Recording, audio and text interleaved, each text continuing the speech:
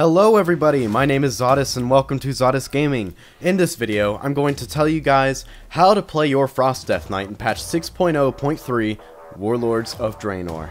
So, what we're going to cover in this video is first off rotation, then burst, then talents, then glyphs, then main stats, then survivability, and overall playstyle. A lot has changed, and you guys need to need to uh, figure, you know, you guys need to know it. A lot has changed as to how Frost Death Knights play. Uh, the overall play style is very, very different. Uh, a lot has changed. So, let's get started. For your rotation, not much has changed except for the removal of Necrotic Strike. Now, the removal of Necrotic Strike did not really hinder us. It actually, I, in my opinion, made us better. Uh, the reason being is that we can focus less on that trying to absorb healing and focus more on damage. Now, for some of you, you're probably thinking that sounds counterproductive, but we can put more of our runes, those death, those death runes, into obliterate, so we get more damage, and as long as you stay on your dispels, you can still very much nullify the amount of healing that an enemy can put out. So, the rotation, for those of you who need a little brush up on what it is, is right now, what I'm doing is I'm opening up with three obliterates, I get out all my runes. And then I stuff all of my frost strikes. I usually you should have close to full runic power. You just shove all those runes, all those frost strikes into your enemy, get rid of all of it, and then by then you should have a howling blast proc. Proc. If you're battling a DPS that cannot heal, or then use the howling blast. If you're battling a DPS or healer that has hots or shields of some kind, then um, then at your at your uh, discretion, use Icy Touch to dispel. This is especially good against priests and druids because they focus so much on those hots and those shields. Now then, other than that, it's making sure you use that Howling Blast on proc. Um, we'll cover the rest of your rotation, like your survivability rotation, the survivability part of the video. Um, other than that, the rest of your abilities are used at your own discretion. Chains of Ice to get, you know, that get to get that slow or to get the dots on rogues. Uh, burst at your discretion. Uh, Soul Reaper whenever to get down low enough to use it on them effectively. Dark Simulacrum on heal on mages, we know they're about to blink, or on um, healers whenever you need to get an extra heal, or on Ret Paladins when you know they're about to bubble. That's really fun. Um, your stun at your yeah at your own discretion. AMS at your own discre at your own discretion. You know, anytime that a mage is about to burst, especially and on rogues when they open up on you. Uh, keep, uh, yeah, keep conversion up all the time. I'm going to go over a little bit more of that in survivability, but keep it up all the time, as, as someone's attacking you, that is. Um, always stay in blood or frost presence as always, and Icebound Fortitude, use it whenever you're taking a lot of damage, or use it whenever you need a escape from, like, a stun or something. Alright, so next is Burst. Burst is different because, as I'm going to cover in talents, we're not going to be using Unholy Blight like we have in the past. We're going to use Plague Bearer. So for your burst, it's not going to be like it was last expansion where you find a single target, you Gorefiend's Grasp, you uh, pop your damage buffs, and then you Unholy Blight, and you get a lot of dot damage. Instead, you're typically not going to run Gorefiend's Grasp. It's still useful for some things, but it's not the uh, main way you want to run. So for the burst, it's literally quite simple. You just have your macro with Pillar of Frost and all that. Pillar of Frost, your potions. In fact, here's a little snippet of my macro for my one-shot macro. Here it is. Um, use that macro and then just pump, you know, just work your regular rotation and just go ham. You try to be in Frost Presence when you burst. If you can't, then it's not going to be that big of a deal, but as always, Frost Presence is going to get you more damage. So, on to talents. For your first tier, you're going to want Plague Bear. Uh, Plague Bear, Death Coil and Frost Strike also inflict your target adding 4 seconds to the overall duration of Frost Fever and Blood Plague, and adding an additional stack to Necrotic Plague. That's really good. Um, it's only run this if you're running Necrotic Plague, which I definitely suggest running Necrotic Plague. Uh, that just makes sure you always have dots up, and Necrotic Plague, we'll get there in a moment, but it's extremely useful to have it up on as many targets as possible. For your second tier, Lichborn, this is the only choice. Anti-magic zone for PvP does not work because you're not chances are you're not going to stay in that uh, anti-magic zone for very long, and Purgatory is kind of useless. So Lichborn is different now whenever you Lichborn, you don't use those death coils on yourself to heal yourself up. Instead, it gives you a 10% leech, which means that you, for 10 seconds, you get a, uh, you get 10% of the damage you put out as healing. So that's definitely very, very useful. Make sure you use that. It still removes charm, fear, and sleeps, so, and makes you immune, so that hasn't changed. For tier 3, you want Asphyxiate or Chilblains. I personally recommend Asphyxiate just because right now Chilblains isn't near as useful. Um, Asphyxiate, it's just a it's just a game changer against healers um, and DPS that can off heal, especially those Ret Paladins. Chilblains, it's not as necessary um, unless you're going up against a healer comp that you know you need a root for. So next up, your fourth tier, you want Runic Empowerment. Uh, Blood Tap is stupid for any DK now because the removal of Necrotic uh, Necrotic Strike. Without Necrotic Strike, there's no use in having all those extra death runes. Obliterate can use all of the death, uh, all runes, so it doesn't really matter.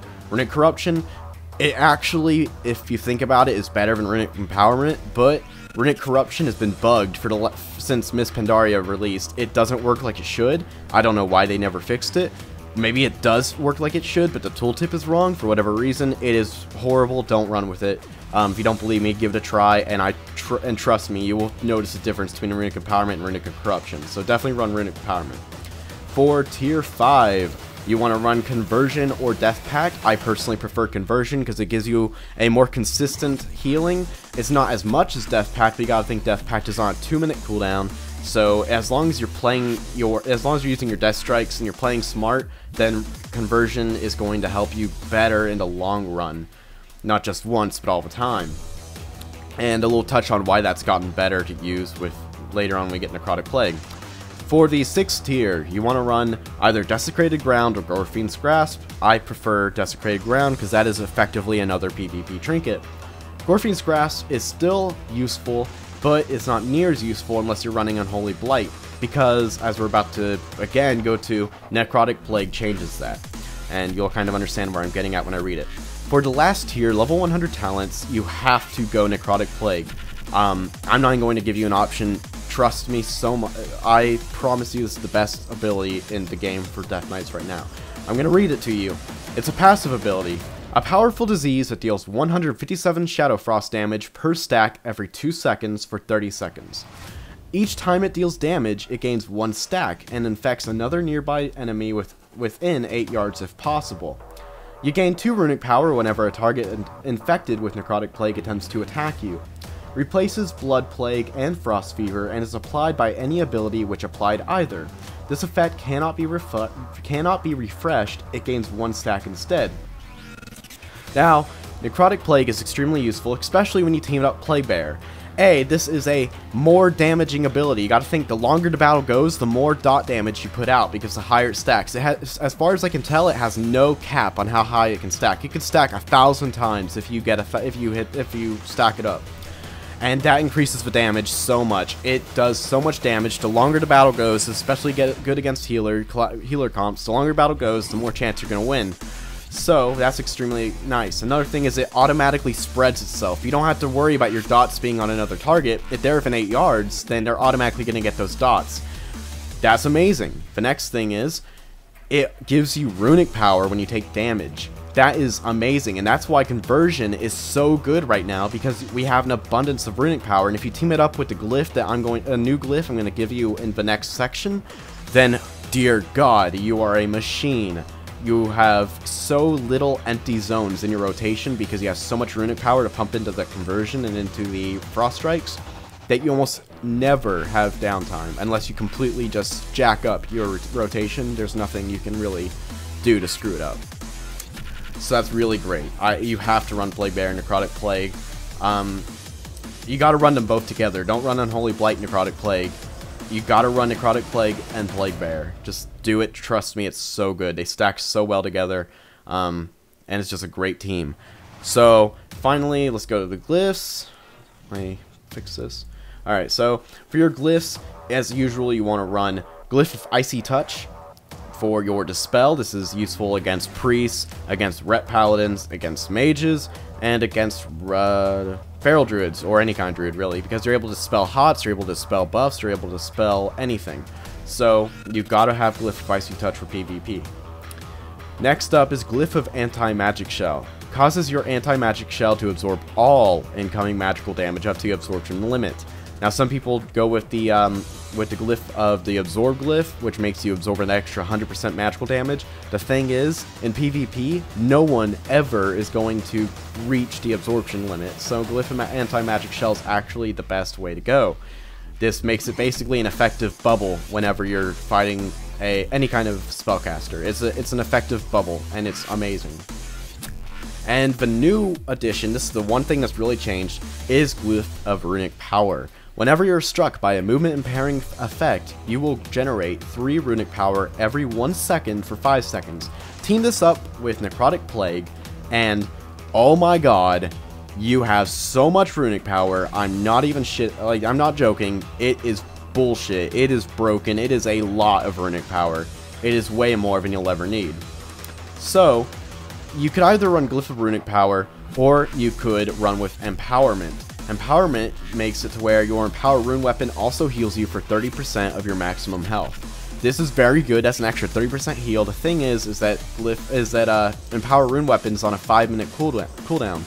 So for me, and I don't really want to think, oh man, I should save my Empower Rune weapon as a heal. I would rather use it for my DPS. I don't want to use it defensively. So I think that um, I think that the Glyph of Empowerment actually kind of um, impairs you a little bit it's up to you. Give it a try. If you want to get rid of anti-magic shell for it, then you can. But I don't really recommend it. It's up to you on which one you like. For me, I'm definitely going to be running Glyph of Runic Power for the rest of the expansion. That's just amazing. So let's move on to the main stats. Some new stats have been added and some stats have been replaced. In the past, it's always been haste and mastery were the best way to go. Haste, Mastery, and Crit, really. Crit being the last, of course. Crit's kind of useless because Obliterate has a pretty high chance to crit naturally. So, basically, what you want to focus on, I've ran a couple of tests, is Haste is great, but you don't want to really focus it. As far as your enchants go and your gems go and all that, you don't really want to focus Haste. What you want to go for is Versatility and Mastery. Versatility coming before Mastery, and here's the reason why. Versatility increases the amount of damage you do and reduces the amount the amount of damage you take, and that is all the time, and that affects all of your abilities. So if you have, like I have, 5% versatility, all of your abilities do 5% extra damage, and you take 5% less damage. Mastery is, it increases your frost damage, so that means your Howling Blasts and your Frost Strikes. This I'm making it below versatility just because it doesn't affect everything. It only affects two of your abilities, really. So, mastery, it, versatility is first, mastery is second. Think of that and you'll be fine. Haste, don't ever turn it down, but if you had to take, if you have to have a choice between haste and versatility or haste and mastery, definitely choose versatility or mastery over it. Haste, uh, for those of you don't know, makes it to where your runes come off cooldown slightly faster and increases your auto attack speed. So uh, I tried stacking haste. It's not all that for DKs. Yes, it'll take a good half second to a second off of your runic cool, your rune cooldown, but especially running uh, Plague Bear and Necrotic Plague, you get so much runic power anyways, and you you can put out so many frost strikes that runic power bleh, that you can get those great uh, runes back very quickly. So that's it for your main stats. Now let's go over survivability. Survivability is a very big one. Lots of people don't know how to survive. And I'll tell you this right now. Survivability for Death Knights is amazing right now because you can so easily use Death Strike all the time and you can have Conversion up all the time. So basically, if you're below 50% HP, Death Strike. Death Strike, Death Strike, Death Strike, get up to full, it doesn't take much and keep conversion up all the time. If you're getting attacked, stay in Blood Presence. If you're not getting attacked, stay in Frost Presence. That's simple. If you need to get the kill, don't worry if you're getting focused. If you need to get the kill, go ahead and go Frost Presence. As long as you're playing smart, you got your conversion up, and you're using your Death Strikes periodically, then nothing's gonna nothing's gonna kill you for a while, and you're gonna be able to get that kill. Death Strike does a decent amount of damage, so you should be good. Uh, other than using those death strikes, all the, you know, anytime you need them, anytime you're below 50% health or coming close to it, as long as you have your runic, your uh, your conversion up on all the time, all the time, no matter what, as long as you have those two things going for you, and you're effectively kiting whenever you need to, when as long as you're using Lichborn whenever you need it for at 10% uh, leech, then you are good. Use that AMS on cooldown if you have to. You're going up against casters, then either A, use it on cooldown, or time it perfectly. Make sure you're catching them in their burst. Make sure you're catching them when they need it. You know, they need to put some damage into you when they blink, or not blink, whenever they do anything that you really need to stop. If you can do those things and use Icebound Fortitude as well, then you should be golden on survivability. Next up is the overall playstyle. The playstyle has changed so much, guys. It really has. Uh, in previous expansions, Frost Death Knights were always the kill target. We always, when you go into an arena, it was just understood that you are the kill target. You're going to die. You're just going to. Not anymore. With the added amount of survivability, and the fact that Necrotic Plague does what it does, there is a extremely low chance that a enemy team is going to want to focus you because they're going to know they're just going to feed you necrotic, you're just, they're just going to feed you runic power, and you're going to put out a shit ton of damage, and chances are they're not going to be able to do anything through it.